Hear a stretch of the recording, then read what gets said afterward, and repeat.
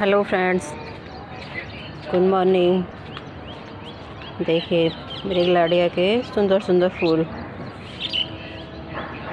और दिखाती हूँ आपको, ये देखो।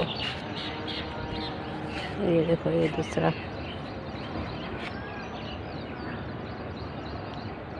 चलिए, अब आज की बात पे आते हैं। आज मैं वीडियो बना रही हूँ।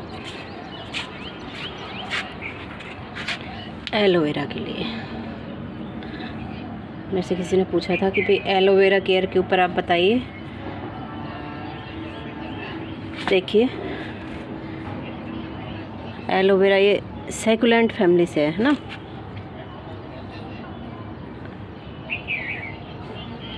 तो इसको लेकिन ऐसा नहीं है कि पूरी फुल सन में हमारे यहाँ राजस्थान में धूप बहुत होती है। बहुत ज़्यादा टेम्परेचर भी बहुत बढ़ जाता है तो खाली धूप धूप की बात नहीं है टेम्परेचर बहुत ज़्यादा बढ़ जाता है। तो उसमें फिर इसकी ये टिप ये सूखने लगती हैं। पौधा डैमेज सा हो जाता है, देखो। ये ये देखो। सारा से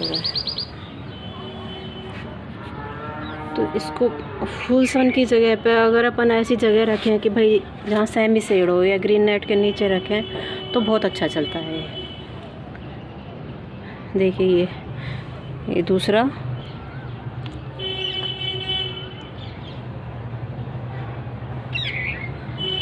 ये नीचे रखा था अपना। देखो, ये देखो कितना बड़ा है। बिल्कुल एकदम लश ग्रीन है। देखो। और ये धूप में ख़राब हो रहा है।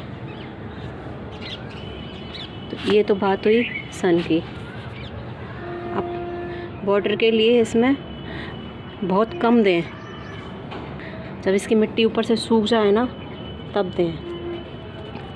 पानी इसमें। तो फिर ये ठीक चलेगा। ये तो ज़्यादा पानी से भी फिर ये लेगी सा हो जाता है। और ये, इसकी ये लीव्स पतली पतली हो जाएँगी बहुत।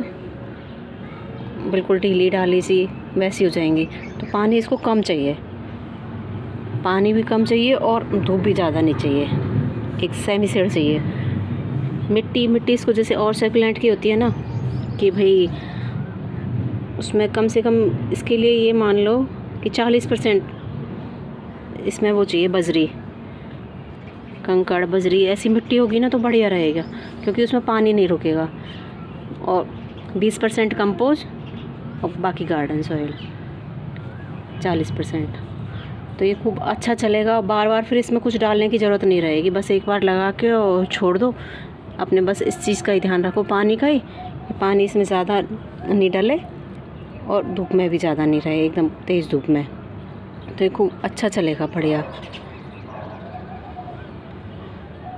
थैंक यू फ्रेंड्स बाकी इसकी मेडिसिनल वैल्यू भी बहुत है। अगर आप लोग कहते हो तो फिर मैं उस पर बनाऊँगी। बाकी केयर टिप्स तो यही है इसकी। Thank you